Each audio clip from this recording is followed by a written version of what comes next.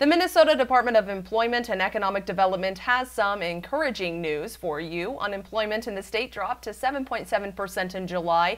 Now that's down from 8.6% in June. More than 3,200 jobs were added in the state last month, mostly in leisure, hospitality, and food service vendors. Now, despite the growth, however, payroll jobs in Minnesota are down 8% compared to July of last year. The overall United States unemployment rate was 10.5% in July. Katie Johnston for WCCO 4 News.